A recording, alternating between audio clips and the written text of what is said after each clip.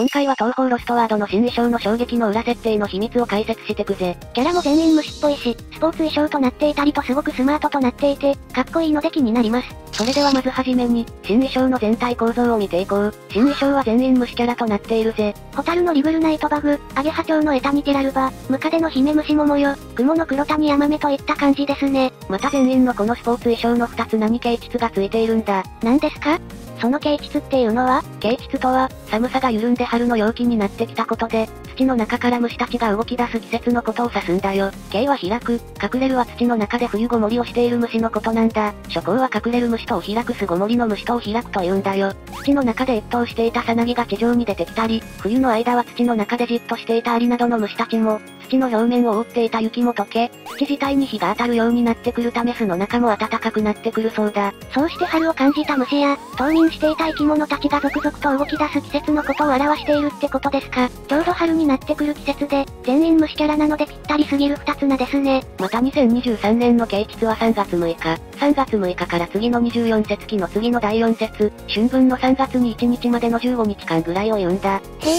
めちゃくちゃ勉強になる。うん、原作っぽく考えさせられるところ好きだよ。こういう二つ名を作るところロスワさんならではで好きだぜ。さて、それでは早速一人目の衣装の秘密を紹介していこう。まずはじめに紹介するのはバスケリブル。ショートヘアのボーイッシュな感じがバスケットボールとバッチリアン。まずリブルナイトバグとはホタルの妖怪、虫たちの司令塔的な役割を担っているんだ。可愛らしい見た目だが、幻想郷の人にはかなり苦手とされる妖怪なんだよ。理由としては虫の大群と共に現れて虫を思い通りに操ることができるからなんだぜ。例えばムカデ、毛虫、ガなどといった虫が一斉に襲ってくるから人々は苦手とされているな。確かに急に大量の虫が出てきたらめちゃくちゃ怖いですわ。ただ妖怪としては優秀な驚かし方ですね。またリブルは虫の妖怪なんだけど、正確に言うと先ほども言った通りホタルの妖怪で、ホタルは虫の中では、珍しく人間に人気のある虫だから退治されにくく妖怪まで成長しやすいようだな。また蝶も人気があるので妖怪になりやすいようだぜ。ということは、妖怪ではないけどエタニティラルバも人気が高いかもしれませんね。この衣装の二つ名は形質ファイアフライ。ファイアフライは英語でホタルのことを指しますよね。そう、ホタルは発光器官を持つ昆虫として知られているぜ。だからか、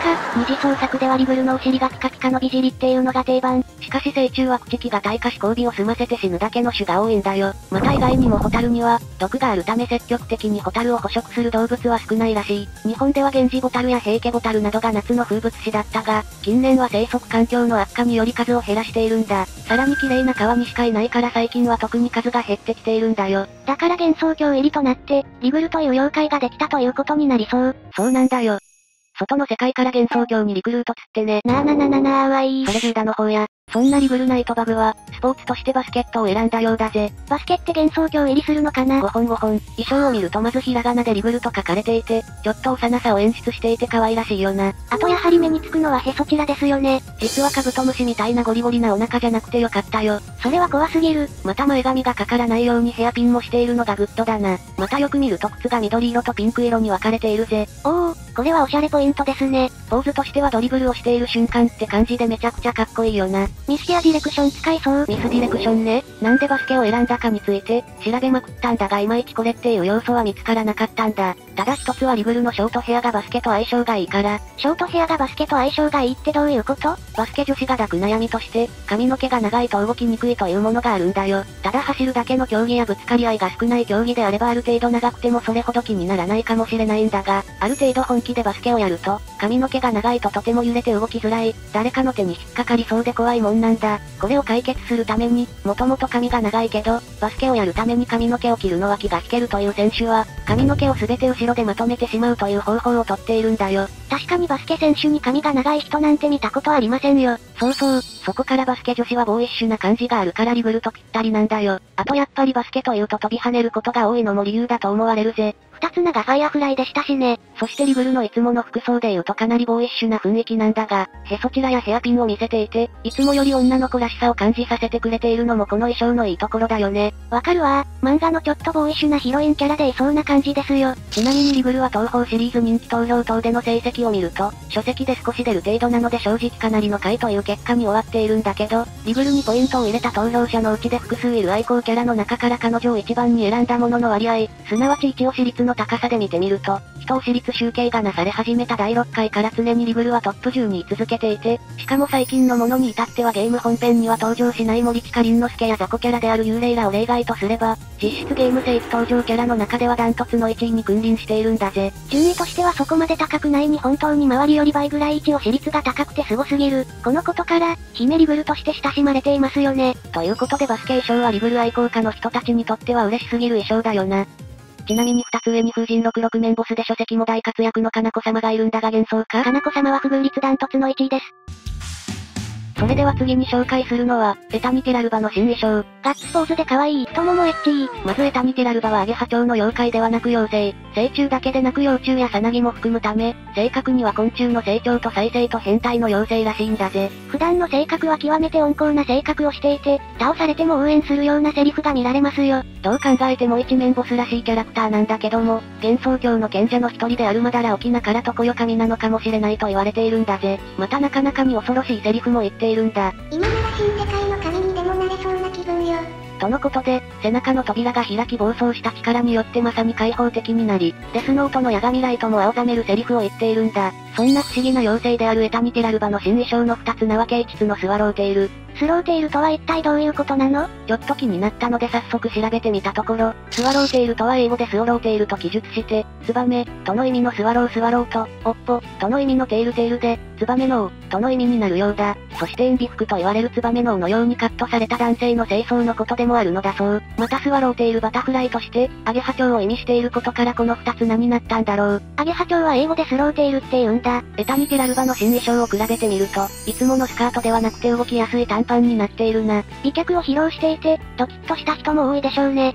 そうそう、もともとエタニテラルバはラソクキャラだから美脚を意識したのかもしれないぜ。また頭には草で作った王冠のようなものがありますよね。あれはよく見ると、図根からもあるものなんだよ。異国の絵画とかでよく見かけますよねあれ。あれの名前は月桂冠というやつだ。あっその名前で気づいたかも。月桂冠は、月桂樹の葉のついた枝をリング状に編んだ冠、破冠の一種であり、月桂樹はギリシア神話における三つ秋神アポローンの霊木として、崇められていたんだ。そして古代にはクティア競技祭など特定の競技会で優勝者に月桂樹やセロリなどで作られた破綻が授与されるんだぜ。そういえばオリンピック選手とかにかけられますよ。ちなみにで4年に一度開かれたオリンピュア大祭があったアテネのオリンピックでは、メダリストにオリーブ缶が贈られていたんだぜ。だから頭にあの月桂冠をつけていたのか。そしてエタニテラルバの月桂冠は常世の神という神の要素があることの暗示だと思われるぜ。あと新世界の神になれるかもしれないわと言っていることから、デスノートのヤガミライトの要素の暗示もあるでしょうね。このようにスポーツにぴったりのキャラクターなんだが、皆さんも思ったであろうあのグリコポーズ、並べるとこんな感じ。全く一緒やないか。エタニテライバの競技がマラソンランナーだからグリコにしたっていうことですかね。実はその逆なんだよこれは。え？どういうこと？この二つ名には天才的すぎる裏要素があったんだよ。1996年9月14日に公開された岩井俊二監督の日本映画で、スワローテイルというのがあったんだ。はーん、ラルバの二つの名と名前が同じですね。この映画のストーリーは昔、縁がまだ強かった時代の頃、縁を求めて人々が集まった街があったんだ。そして、日本人はその群がった人々のことを蔑み、彼らのことをイエンタウンと呼んだんだよ。イエンタウンには夢を叶えようと不法入国してきた外国人が集まり、イエンタウンとなってその日を生きていた。日本語や英語、たくさんの国の言葉が飛び交ういわば無法地帯と化していたんだ。そんなイエンタウンで勝負をしていた。グリコというものがいたんだ。おお、そこからグリコが取られたってわけか。グリコポーズの裏設定が天才的すぎて怖い。またある日、彼女の働いているクラブにとある少女伊藤あゆみが連れてこられるんだ。彼女は、グリコの仕事仲間の娘だったのだが、母が亡くなったことによって行き場をなくし、クラブの支配人に売られそうになっていた。かつて夢を追い二人の兄とエンタウンにやってきたグリコの一人の兄は事故で死亡、もう一人の兄は行方不明となり離れ離れになっていたんだよ。そんなこともあり、どうしても彼女を放っておくことのできなかったグリコは、は、行き場のなかった彼女を助けたんだ。そして名前すらなかった彼女になんと、アゲハという名を与えたんだ。ミスティ肌すぎてヤバすぎた。こうして面倒を見ることにしたんだ。ちなみにアゲハの名前の由来はグリコが胸に入れているタプーから来たもの。アゲハは、グリコと一緒に暮らし始め、だんだんとエンタウンでの生活にも馴染んでいくのだが、というのがこのスローテイルのストーリーと、エタニテライバの裏設定のつながりなんだよ。ロスワさんなんちゅうおしゃれ裏設定を入れてくるんや。これ初めて解いた時マジで希望のお面だったよ。一体誰がこんな裏設定を作っているのか気になりますね。ああ、一度は会ってみたいものだな。もしかして佐藤さんか、あの方ハグスマの司会進行役です。ちなみにグリコがなぜあのゴールインのポーズをとっているのか知ってるかな？知ってますよ。江崎グリコの創業者がキャラメルのグリコを考えた時に、製品と同時に、美味しさと健康を表す名前やマークについても考えていて、ちょうどそうした時に、子供がかけっこをしてゴールインする姿を見て、これだとひらめいたのがゴールインマークなんですよね。さすがは同じく食の謎ゆっくり大学の生徒ン。このようにラルバのグリコポーズはマラソンランナーから来ているものではなくて、アゲハチョウという要素から来たものだったんだよ。いろいろ考えて作られていて、改めて本当に天才的だなと思いました。ロスワの制作人の巧みさがよく伝わるよな。褒めたからガチャ引いてみるわ。ガチャは褒めて当たるもんじゃないよ。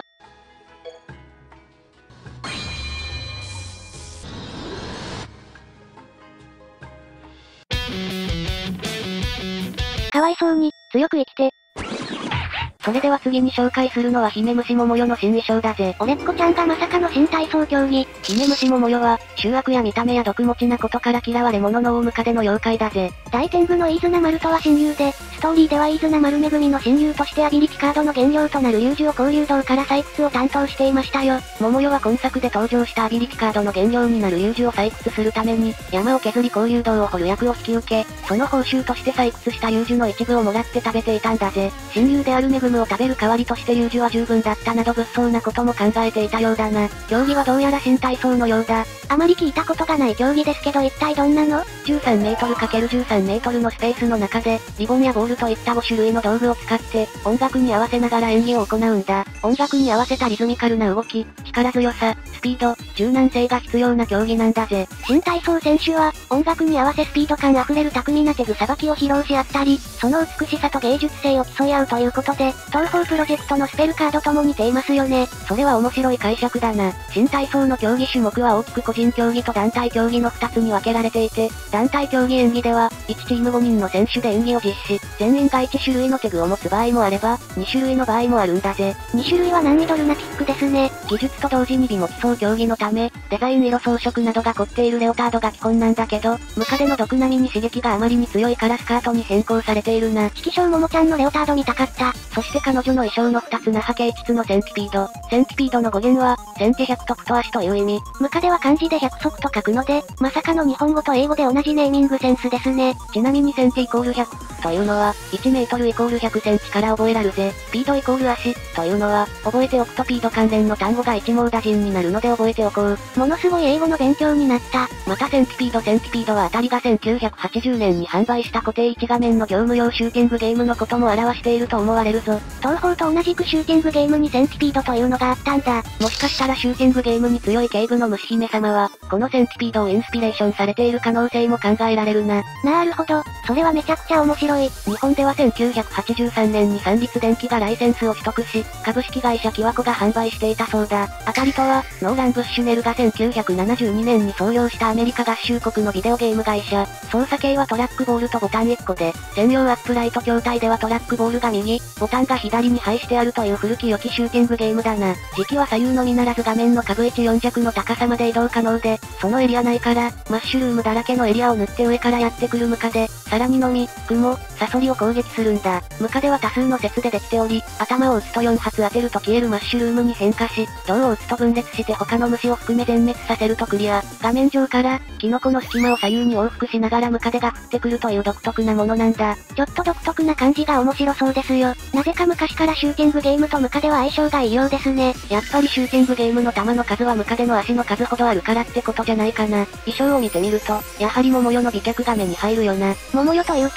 原作からかなりの美脚を見せていますよね。そうそう、裸足になっていてリボンをつけているというムカデを表すようなものとなっているな。だから彼女のスポーツが新体操ということですか？うんこの足のリボンから取って新体操のリボンになったんだろう。ちなみに新体操のリボンの長さは、最初は3、4メートルのリボンを購入する方が多いようだぜ。あとなぜかコンパク用務の判例みたいなものが服の模様にありますけど、あれは一体何なの？確かに判例っぽいあの模様は、実は原作からあるんだ。考えてみたところおそらくだけど、今漫画の東方地霊記伝で大活躍している、音量の宮出口水木との関連付けのためかと思われるな。宮出口もムカデの要素を持っていて、絶対関係がありますもんね。それにしても売れっ子の桃代が、こんなにも可愛らしい新体操をやっているとはギャップがすごすぎるよな。名前みたく実は結構乙女だったりするのかもしれませんね。いつもはかっこいい感じだからこういった可愛い桃代を見れるのは嬉しすぎるところだよ。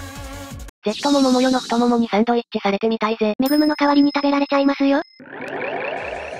それではラストに紹介するのは、黒谷ヤマメの新衣装だぜ。背面飛びのポーズのイラストが天才的すぎる。本当によく描けていて、夢のロテさんの絵のセンスがやばいよな。まず黒谷ヤマメは地底世界で暮らす土雲、病を操り、人間に感染症などの病気をかける能力を持っているんだ。また好戦的かつその能力ゆえに人間からは忌み嫌われているんだけど、明るく楽しい性格で地底では人気者なんですよね。そうそう、ヤマメは地底のアイドルとまで言われているんだ。またヤマメの服装はふっくらした上着の上に、焦げ茶色のジャンパースカートを着ていて、雲らしさを表しているんだよ。その中にたくさんの雲の足があるっていうのが二次創作の定番ですよ。しかしロスワでは超スマートな身体をしていたな。まさかあんな引き締まった体つきをしていたとは。彼女の競技は走り高跳びだな。陸上競技の種目の一つで助走して片足で踏み切り、バーを落とさずに飛び越え、その高さを競う跳躍競技ですね。走り高跳びの飛び方には3種類あるんだが、ヤマメは背面飛び、走り高跳びのフォームは背面飛びが主流なんだぜ。へえ、なんで背面飛びが主流なのみょん背面飛びをするメリットは背面飛びが一番クリアランスに余裕があるフォームとなっているからなんだよ。つまり、現実的に人間ができる動きの中でバーを一番超えやすいのが背面飛びとされているんだよ。なるほど、だから背面飛びが主流なんだ。二つな波形質のアーススパイダー。多分マーベルでおなじみのスパイダーマンを意識した二つ名だと思われるぜ。雲といえばスパイダーマン、スパイダーマンといえばヤマメですもんね。ヤマメ派ヒーローではなくてアイドルです。それで、アースというのはどういうこと？スパイダーマン映画シリーズはアース9万、6283アメージングスパイダーマン。映画シリーズはアース12万、703MCU 映画シリーズは、アース19万、9999といったような表現がされているんだ。MCU は散るのがにっこり。マーベルコミックの世界にはマルチバース多言宇宙論という考え方が採用されていて、パラレルワールド別世界線がいくつも存在するという設定になっているんだよ。なるほど、東方ロストワードも似たような感じになってますよね。それで、このアース〇〇というのはその世界線を区別するための番号という感じなんだよ。なのでスパイダーマンというキャラクター自体がアース616というわけなのではないんだぜ。マーベル社原作コミックの主世界線になるのがアース616で、その世界線にスパイダーマンが存在ということですね。いろんな世界線がある東方ロストワードにぴったりな二つなってことになるんだ。まあ、あとは単純に土雲だからアーススパイダーなんだろう。そんなヤマメの衣装を見てみると、ヤマメも短パンでへそ出しという原作では絶対見られないような衣装構成となっているな。こういうの二次創作らしくて好きです。やっぱり背面飛びなことから胸を張っていてかなりセクシー。スポーツ女子はどこか色気があっていいんですよ。わかる。やっぱり健康的な体つきで色気があるよね。あとよく見ると雲の糸を使っていて、反則並みの技を使っているんだよ。あんなん使われたら絶対に飛び越えられるやん。反則高飛び山目で漫画出るんじゃないかな。どんな漫画なんだよ。査定上が東方ロストワード新衣装の秘密だぜ。予想の倍ぐらい設定が濃すぎてびっくりしましたよ。ただバトルや、キャラ集めだけではなくてこういった考察ができるところがロスワの魅力だよな。もし視聴者さんが見つけた秘密があればぜひ教えてくださいね。また良ければチャンネル登録、リバースカードコラボなんかも解説してるから見ていってくれよな。それではここまでご視聴ありがとうございました。ご視聴ありがとうございました。グッドボタンとチャンネル登録よろしくお願いします。